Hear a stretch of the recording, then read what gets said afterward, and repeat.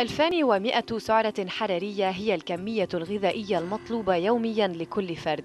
وفيما الإنتاج الزراعي كاف لإطعام سبعة مليارات نسمة في العالم يبقى هناك 13% من العالم يعانون من سوء تغذية.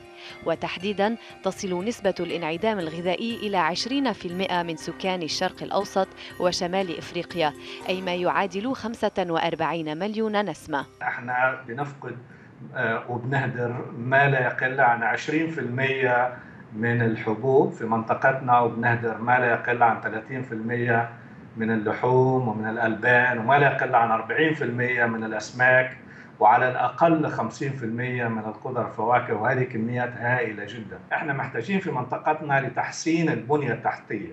كل البنية التحتية اللي إحنا بنستخدمها في منطقتنا لتداول الغذاء سواء لإنتاجه أو تخزينه أو تعبئته أو أو نقله كل هذه البنية التحتية ضعيفة. لما بيتوفر الغذاء أكثر بطريقة أسهل وبطريقة أسرع وبطريقة أقل تكلفة إيه لما إحنا بنقلل من الفاقد وبنقلل من المهدر بيزيد من بيزيد توفر الغذاء. وهذه واحدة من أهم ركائز تحقيق الأمن الغذائي. وهذا بيقلل من تذبذب الأسعار على الأقل. سوف يقل هذا الفاقد وهذا المهدر في منطقتنا على الأقل 50% في غضون خمس سنوات ولو أو لو وصلنا لهذا الغرض يعني تقليل 50% من الفاقد والمهدر هذا يكفي لتحقيق الأمن الغذائي في المنطقة.